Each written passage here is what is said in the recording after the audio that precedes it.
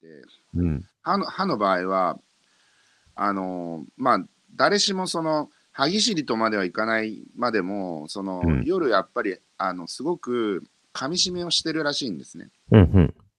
で、要は、あ普通にその起きてる間、覚醒してる間、咀嚼をすることで、そんなにその歯にその負担はかからないんですけど、夜の、夜は本当に、あのーすごく、その、なんていうのかな、あの大なり小なりみんな噛み締めをしてるらしいんですね。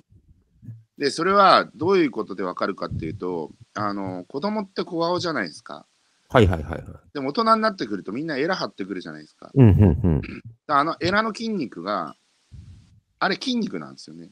筋肉ですね。うん。であれあれあれは、あれがなんでですごく発達してるのかっていう夜の噛み締めらしいんですよ。へえ。であだから毎日筋トレやってると思うんですよ。で、毎日ギャーって力こう入れてるようなもんだ。そうですよ。だから上と下の歯でぐーっと噛み締めるんで、うん体重の2倍ぐらいの力がかかってるんで、もうスクワットやってるようなもんですよ。エラの。なんかこエラスクワット。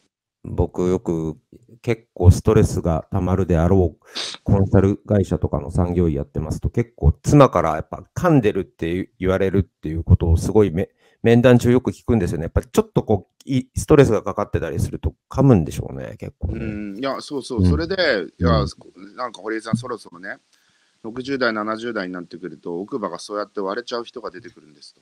うんうんうん。なので、エラボトックスやりましょうって言われて、エラボ今だからトやったボトックスね、確かにね、流行ってますもんね。あれ結構筋、ね、エラって骨じゃなくてほとんど筋肉みたいですもんね、ほん確かうに。ん、いやな、なので、あの、うん。エラボトックスで小顔になるのは、あれは筋肉がなくなるから、なくなる